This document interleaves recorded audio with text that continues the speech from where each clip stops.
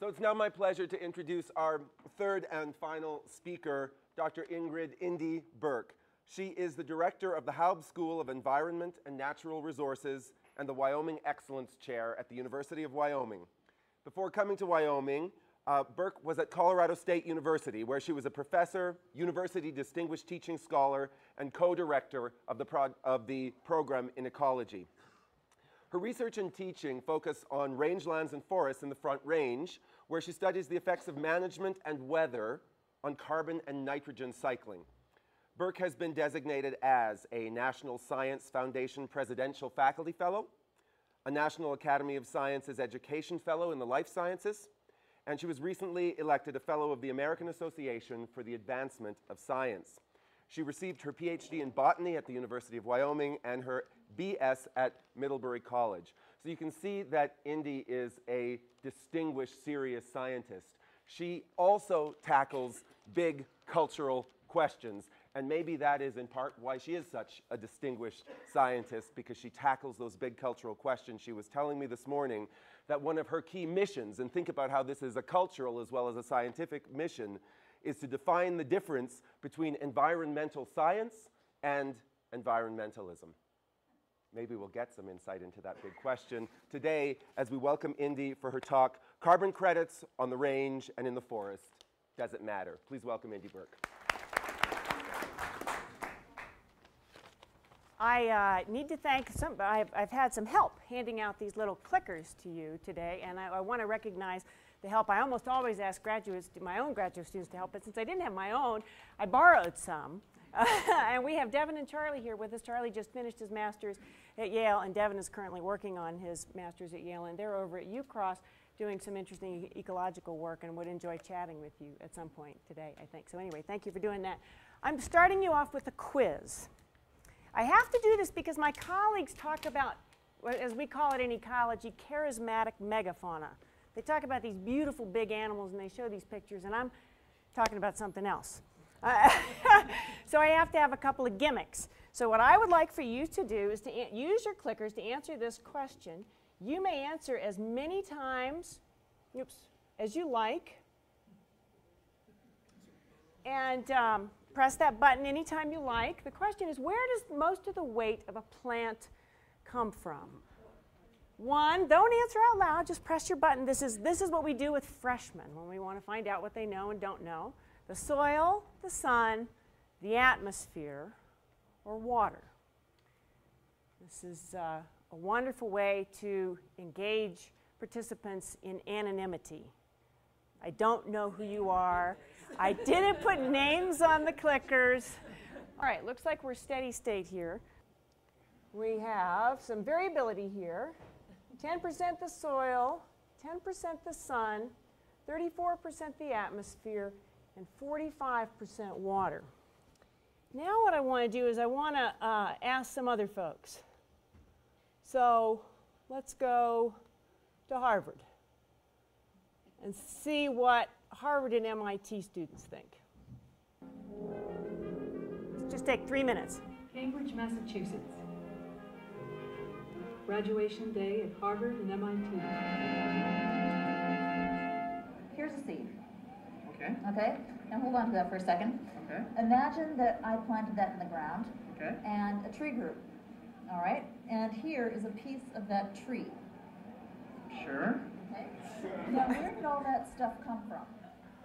So where do plants come from? You look at these beautiful big redwood trees, these great spreading valley oaks, and you know they start from this little tiny seed.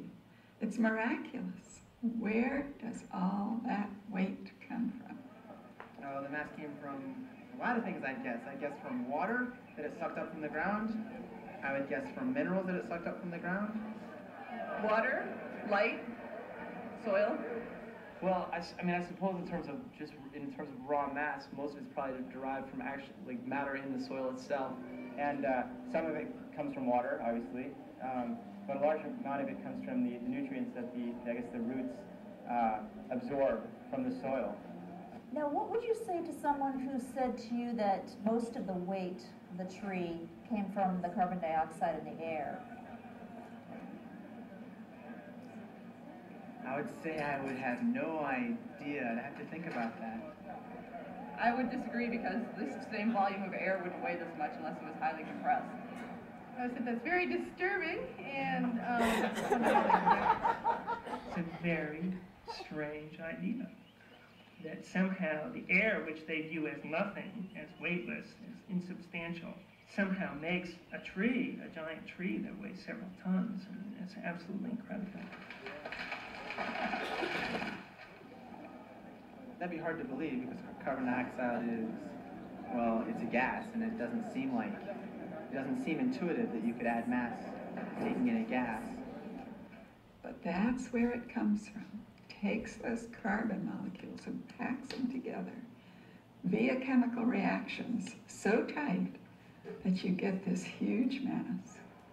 So, what does it mean that these Harvard graduates don't understand the fundamental idea of photosynthesis? Well, it's symbolic of the state of the nation. These are the best. and the brightest. But I, you notice I cut her off at that point, despite my respect for Ivy League institutions. So, what I want to do today is talk about this issue about plants taking up carbon, carbon out of the atmosphere, carbon dioxide out of the atmosphere, turning it into biomass that is stored on the face of the earth, and ask some questions about why that was why that matters to us and what it might mean here in Wyoming and what it might not mean here in Wyoming. I hope what you got from this is that it's okay that 66% of you didn't know the right answer. To me, this is one of the most important issues facing society today, and yet it is so counterintuitive that mass on the earth comes from this, that this has mass, that turns into something very important that's stored on the surface of the earth. So that's what I want to address today. The right answer is the atmosphere, and we will go into that. Yes, okay, good. That's the sun. I'd, I'd like to go back and dispute your question. Because the students are always grubbing for grades. That's just, if you'd have asked the question a different way, I'd have got a better grade. The question was the weight of plants. So, so let's just take a blade of grass. Then if you weigh that wet and dry, you're going to say water. If you're just going to say the weight of the plant, not, not the mass. Ah.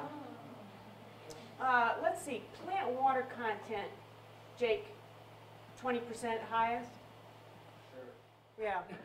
They're 50, every, every, uh, just about every organism on the planet is 50% carbon. And then there's the oxygens that also have come from the atmosphere as well. we will, we will talk about this in some detail. So, today, today, today I'll talk a little bit about how carbon gets in and out of ecosystems, why it matters, uh, what that might mean for rangelands and forests in Wyoming. You've probably heard quite a bit about farming for carbon, about carbon credits uh, that can happen worldwide as a result of the Kyoto Protocol. And there are indeed some ranchers in Wyoming who've been receiving some payments for uh, carbon credits in Wyoming. And then I want to sort of bring it to a bottom line that is carbon stewardship for us in Wyoming.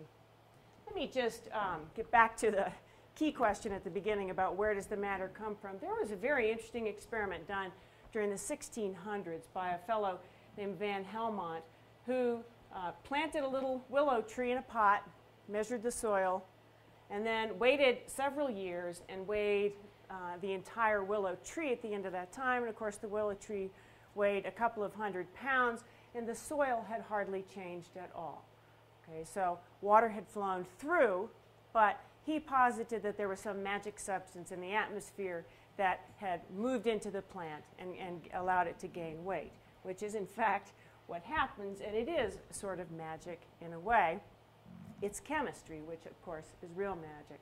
During the process of photosynthesis, because of light energy, which is not matter, but because of the energy in the sun, uh, water and carbon dioxide form carbon carbon bonds uh, at the same time as putting oxygen into the atmosphere.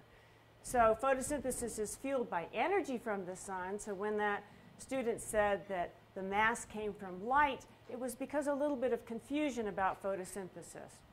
That the sunlight provides the energy to make this chemical reaction happen, but in fact, the matter comes from the water and the carbon dioxide, which join together to form carbon carbon bonds in any organism. And the point I want to make here is that this is really the only way that carbon gets into ecosystems is through photosynthesis. Plants are responsible for essentially all the carbon that is stored in ecosystems on Earth.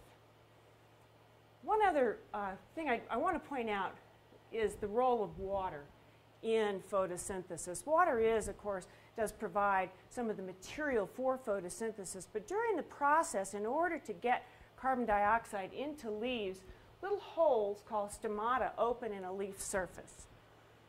And carbon dioxide flows in, but what happens is that there's a pipe that creates pressure from the soil all the way up. And so, because of the evaporation from that hole in the leaf tissue there, it pulls water out of the soil that goes into the atmosphere. Plants don't lose water on purpose. Plants lose water by accident. Those holes open for the purpose of acquiring carbon dioxide that diffuses to, in, but during that process, water diffuses out because plants are wet. So I just want to point out water loss happens by accidents, and plants have processes that allow them to close those stomata, those holes, anytime it's dry, which is most of the time in Wyoming, a lot of the time in Wyoming. Soils are too dry for photosynthesis to actually occur. So water is a fundamental limitation because of the way those holes operate, those stomata operate. When it gets really dry, those close and no CO2 can get in. Carbon cycles. You saw pictures of all these um, charismatic megafauna, of all these beautiful elephants and crossbills, and I'm going to tell you that they're just carbon-carbon bonds. okay? All those organisms, from my point of view, are just carbon. And here's the simplest view. I mean, everybody rolls their eyes when they look at carbon cycles or nitrogen cycles in science. I'm going to tell you that the only thing that matters is carbon comes in through photosynthesis and it stays in an ecosystem in live or dead material that is just carbon bonded to carbon. And it leaves through the process of respiration, which we're all doing right now. We're breaking down those carbon-carbon bonds in order to get energy so that we can sit and be very engaged in a carbon cycle lecture. so, so, and all organisms do this, okay? All, all creatures are effectively respiring all the time. Even plants are respiring all the time. I'm not going to talk very much about this other way that carbon leaves ecosystems, by the way, which is erosion, because it's sort of a displacement. It goes somewhere else.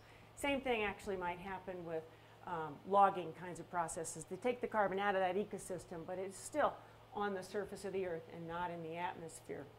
Where's decay on that chart? Decay is right here, is in respiration. So plant material uh, dies, um, and then lots of organisms consume that dead material. Bacteria and fungi are best recognized, but there are lots of invertebrates. They chew that up, they respire it, and it goes into the atmosphere through the process of respiration. I'm going to put a few charismatic megafauna in there. There's Craig Benkman and there's Jake Goheen. Okay. All right. Let's get your clickers out again. Let's, let's, uh, this is one that um, no one is likely to have necessarily taught you, although you may have learned about photosynthesis many times. But take a guess. If you added up all the carbon on the planet, where is most of it? Is it in fossil fuel, that is coal, natural gas, oil, below the surface of the earth? Is it in the atmosphere? Is it in plants and soils? Or is it in the ocean? Fossil fuel, number one, the atmosphere, plants and soils, or the ocean. Okay, so you're kind of evenly split. Only 10% think it's fossil fuel, 33% think the atmosphere, 23% thinks plants and soils, and 33% think the ocean. Uh, I'll show you the graph here in a second. It is overwhelmingly the ocean, and atmosphere is very much the lowest. So let me You can see by how I'm showing these, by I'm using the clickers, the things that I want you to remember before lunch. So there's three times more carbon in plants and soils than there is in the atmosphere, though. So here, these numbers show the size of the pool, and these, these um, units are in gigatons or billion metric tons. So the atmosphere has about 750 billion metric tons, and it is the smallest pool among all these. Vegetation, soil, and detritus, which is dead stuff, uh, adds up to somewhere around 2,400. So it's got, we've got more than three times as much carbon in live and dead material, organic material on the surface of the earth. Fossil fuels are 3,700. And then look at the size of some of this that's dissolved in the ocean 37,000. Uh, something else to look at here is that the, the largest way that carbon dioxide comes out of the atmosphere is through this process of photosynthesis. There's, it's dissolving. Carbon dioxide is dissolving and coming out of the ocean all the time. Let's assume for now that that's in steady state, that there's an equilibrium between the atmosphere and water. It doesn't have anything to do with biology or us in per, se. What's that? The uh, these are changes, anthropogenic changes, uh, cha things that are influenced by humans or by climate change.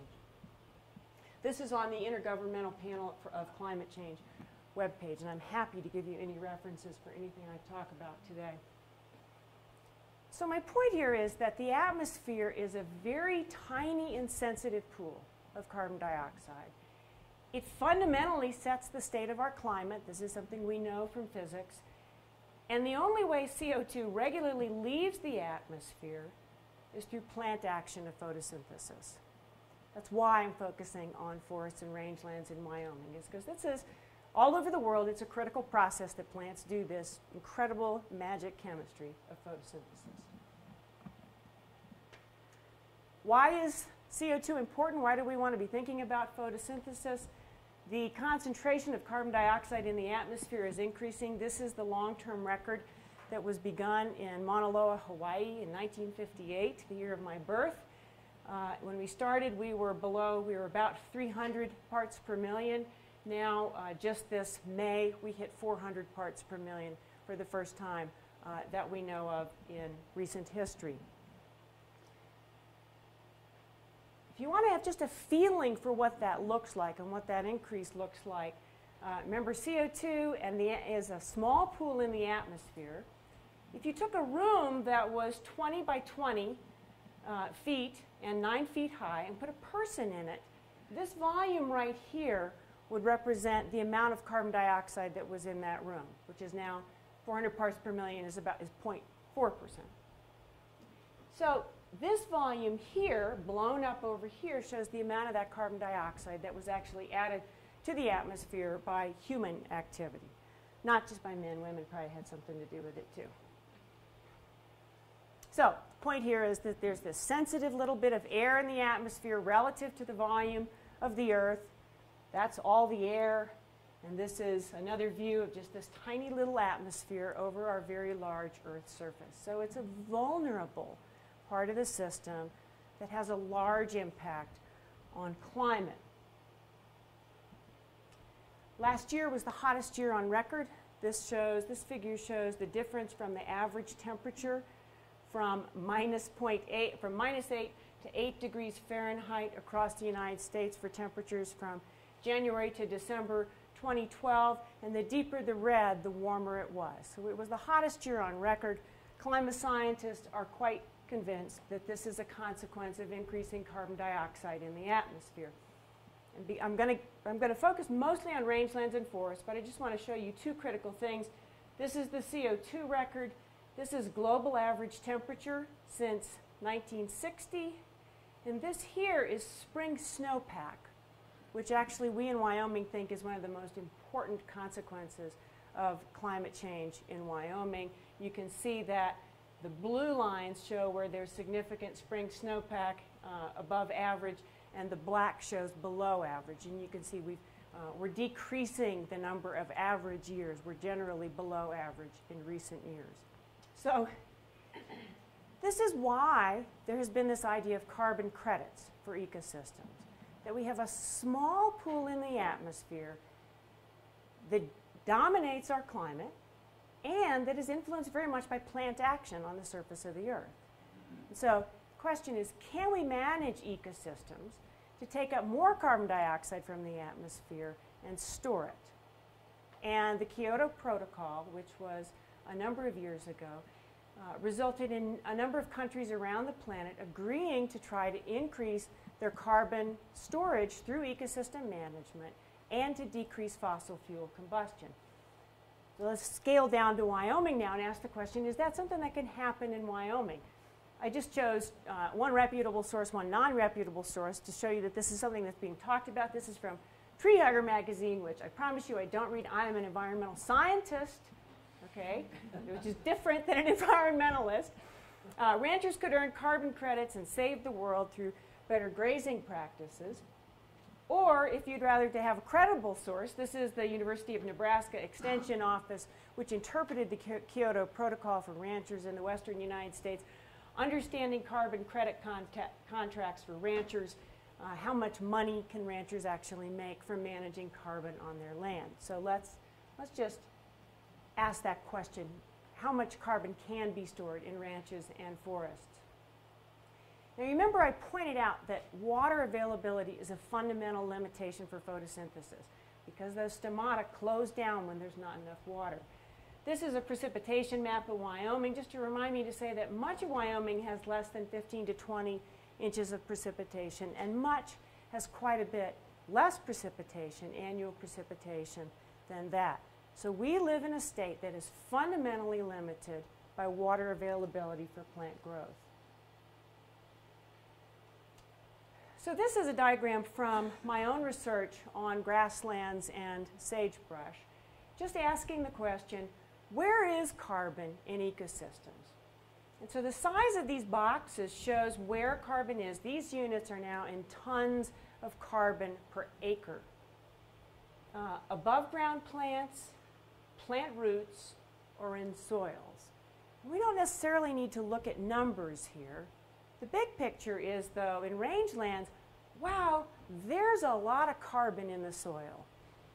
And it took thousands of years to get there from there being, for many of those years, more plant production than there was respiration or release to the atmosphere. More or less at steady state right now in managed systems, as I'll show you. So, even within the plants, there's only a tenth as much carbon in the above ground parts, the leaves, as there is in the roots in rangeland systems. So we can think of rangelands as being upside down forests.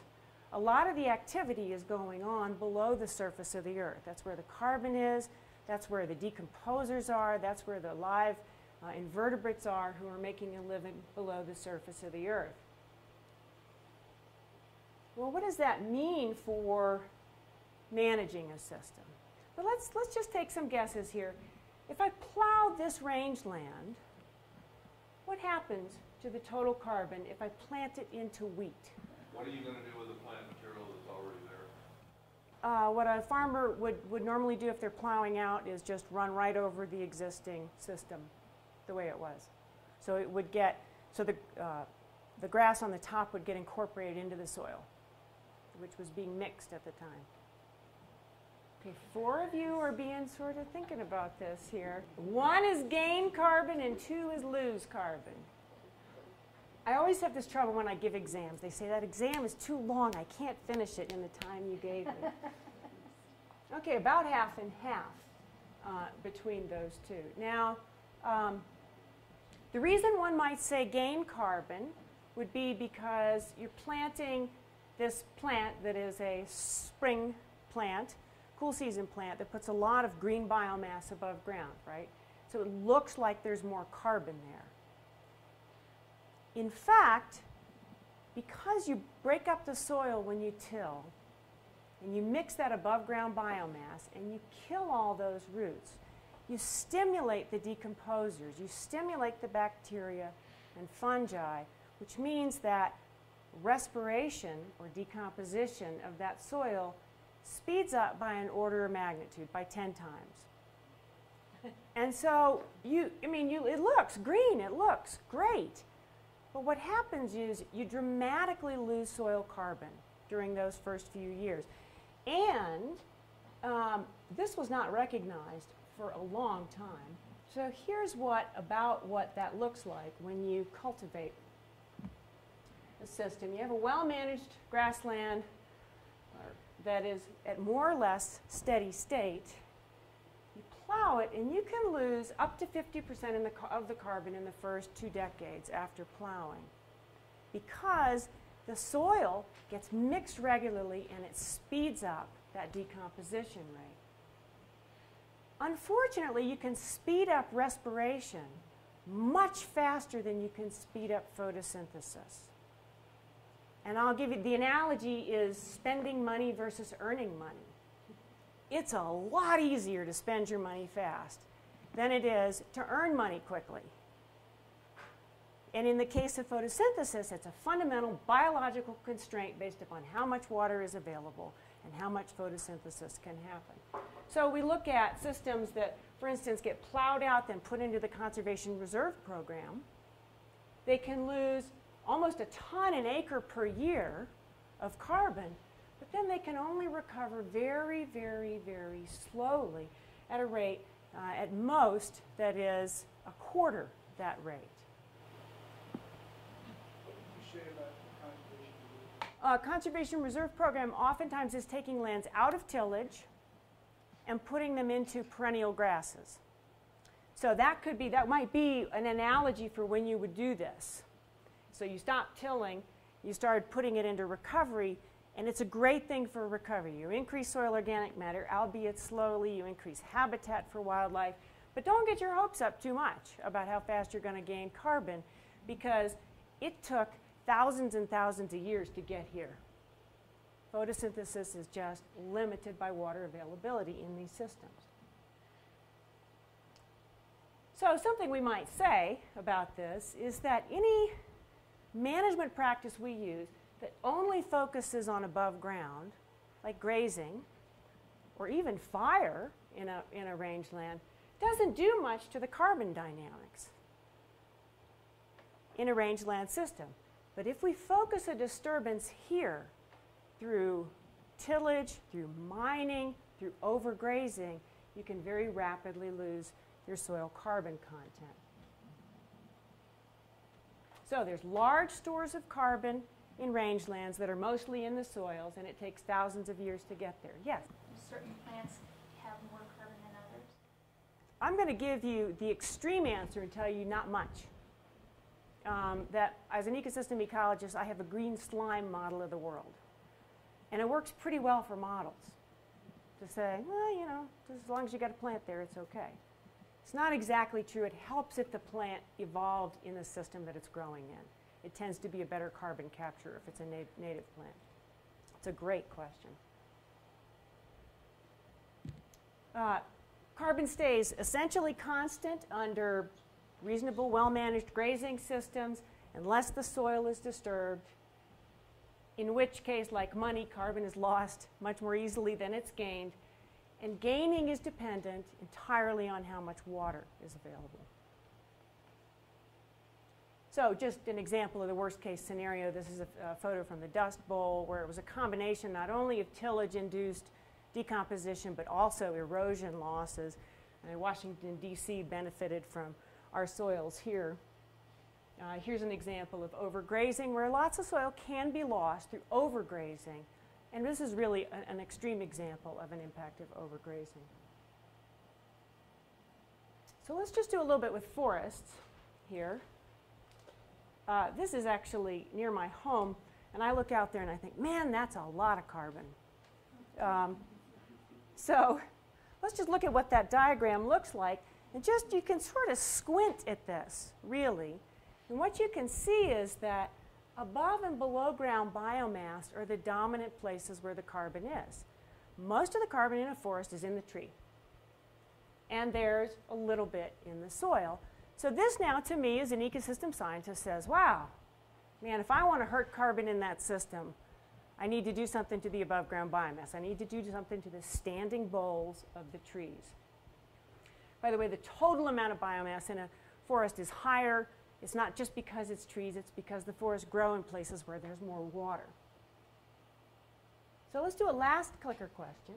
Which results in most lo loss of carbon from a lodgepole forest? Let's just guess here. Beetle kill, clear cuts, or a forest fire. So this would be standing stocks for those of you who are thinking about clear cuts and moving, just moving the carbon somewhere else.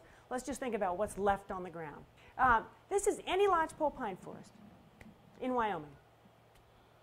So someplace, say, between 8,300 feet and 10,000 feet in elevation.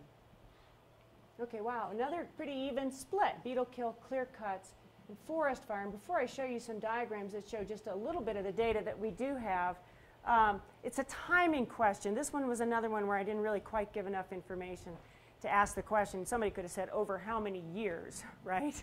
In which case it might have all been the same because the trees are dying, right? And they'll decompose when they go away.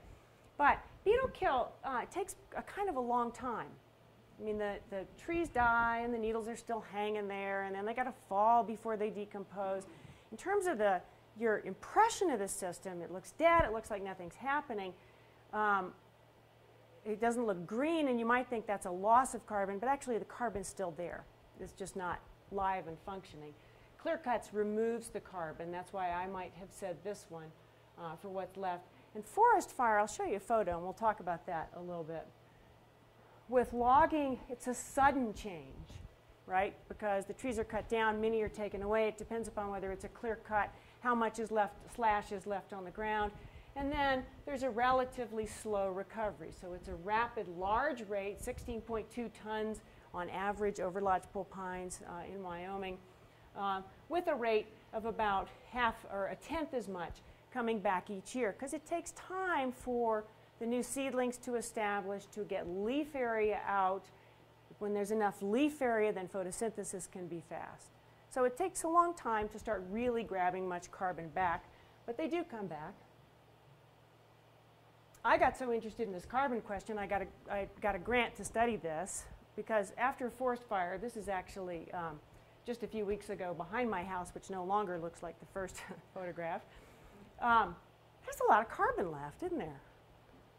Forest fires actually uh, focus on the fine needles and the, um, the fine branches, leaving a lot of carbon behind, and that takes a long time to decompose and go, fall down, decompose and go away. And same thing with the roots below ground.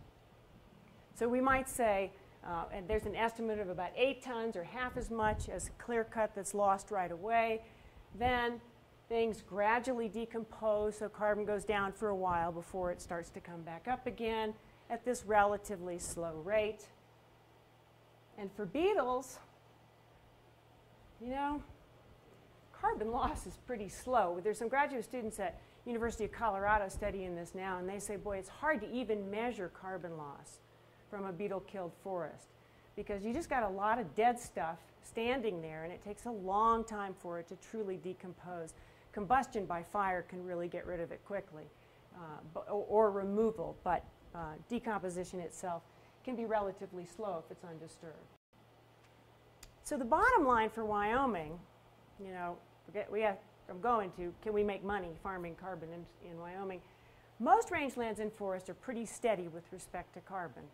Let's say most of the forests are not under beetle kill. Let's say most of the forests are not burned. Let's say most of the area is being relatively well managed for grazing. Carbon's more or less pretty steady. And biology is really slow in Wyoming because it's dry. It just is the way it is. It's the recovering rangelands in the state that are actually increasing in carbon content. So if I were selling carbon credits, I wouldn't go to well-managed rangelands that have always been managed well. I would go to places that had been very severely damaged because those are the places where there's a capacity to increase in carbon. So it's a real paradox in some ways. So let's, but let's look at, I gave you some numbers for how fast, let's look at what those numbers might look like. I mean, how much money could you make in terms of carbon dioxide credits. This is what's happened with the CO2 um, markets over since 2005. It's been very volatile. It's almost impossible to get a number today for the United States because the carbon uh, exchange market has collapsed in the United States. I did get a number, $1.15, but nobody's trading in U.S. carbon and ecosystems today. But policies might change and they could in the future. In terms of euros, it's five in Europe, if you convert to US dollars, it's $5.40 per ton of carbon dioxide. Dave. Say how much is carbon loss with the fire? Is that carbon that leaves that particular area you're talking about and goes into the atmosphere? It goes into the atmosphere, yeah, good. You're talking about gaining, that's carbon coming out of the atmosphere, going into that spot. Perfect. Yep. But my understanding has been that if I wanted to go into the business of stockpiling carbon, then what I'd do is I'd start off with an old growth forest, which is no longer absorbing carbon. It's basically sated. I would cut that forest down and I would make sure that it does not go back into the atmosphere by putting those forest products into log cabins. And landfills. Timber. Whatever, yeah. I'd stockpile it over here. Yeah. And then the new growth forest that's going to come behind is going to be very hungry and is going to soak up carbon at a huge rate until it starts to mature, which that rate goes down, eventually becomes an old growth forest. It's no longer soaking up carbon. I cut that down. So basically the cycle is to continue to clear cut old growth forests and stockpile the carbon in a sink that's not allowed to go back into Yep. Fundamentally sound? That's right. It's fundamentally sound and it works great in tropical rainforests and the Pacific Northwest. Why not somewhere else? Water is the fundamental constraint for photosynthesis. In places where there's enough water, then other nutrients become limiting. Uh, but under, um, uh, what's a thousand millimeters? Quick, Yale guys, what's a thousand millimeters in inches? How many?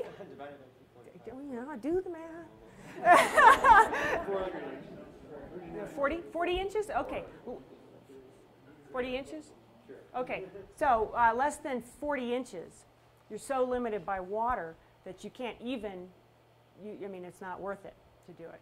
But over that, boy, you can, yeah, you can do that in wet places, which is a sort of a bottom line message here.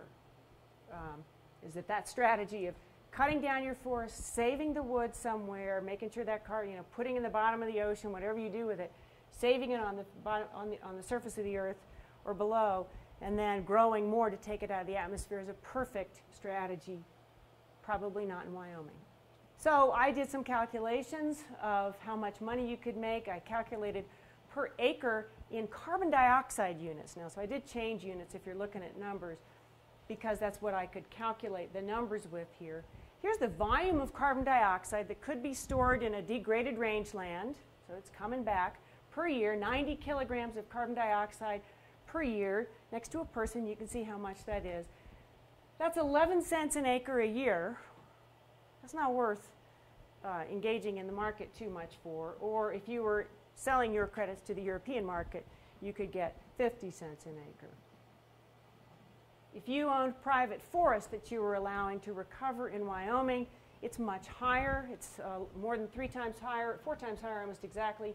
3.6 tons of carbon dioxide per acre per year. You could get $4.20, $4.20 in the US market right now for that, or almost $20 on the European market for that. Again, for, uh, for a whole acre, that's not too much money. I did some other interesting calculations just to give you, you know, how much carbon is that? Okay, dollars, that's interesting. How much carbon is that relative to how much leaves Wyoming in coal in a given year? So here's the change per acre on rangelands. Here's the change per acre maximum for forests. and here, then I took all the coal that's exported from Wyoming in a given year and I divided it by the number of acres. Of Wyoming. So I spread out all of Wyoming's coal pr production over the whole state, and you can see it's about four times higher than the maximum amount of rate that we think we could absorb from the atmosphere. Now, we certainly aren't responsible for combusting all this carbon dioxide, uh, all this coal. In fact, we're only responsible for a tiny proportion of that. But in case we were thinking about offsetting our own fossil fuel carbon combustion with biological resources, we can see we're not that, we don't have that capacity. I was almost finished writing this talk, and my husband sent me this paper yesterday, published in Australia, where they came up with the same conclusions I have. The potential for carbon sequestration in Australian agricultural soils is technically and economically limited, and they come up with the same conclusion that it's a, it's a biological limitation of photosynthesis. You just can't capture enough carbon, and it's not worth it on the market. So let's say you own land and you really want to bring in carbon dioxide from the atmosphere. What's the only way you could do that? Watering. Excellent. And let's, let's use the use word, use water to increase photosynthesis. Because if you were to plant cottonwoods in a riparian area with the purpose of capturing carbon dioxide from the atmosphere, your streams just might dry up. In fact, they very likely would, because that water would be sucked up into the roots to meet the suction going out the stomata and go into the atmosphere. So just in finishing, I want to suggest a different approach for Wyoming, which has to do with stewarding the resources of carbon we have now. So we could ask that question in a different way. How much carbon is stored? What about not being paid to get more carbon in, but what about thinking about what we can do to just keep the carbon we have and a role for valuing what that is? Here's an estimate of all the carbon in all the rangelands in Wyoming, 1.4 gigatons. All Wyoming forests, 2 gigatons. And all the reserves of Wyoming coal, 14.5 gigatons of carbon stored in all the reserves. Now, this is not insignificant compared to this uh, right here. And certainly, were we to lose this amount of carbon, it could have a dramatic effect on atmospheric carbon dioxide. Added together, these here uh, represent about the annual production of, of fossil fuels into the atmosphere worldwide. So, my bottom line here is that Wyoming stores a lot of carbon, and that has great value, and that stewarding that carbon carefully is probably our best action to take. Thank you.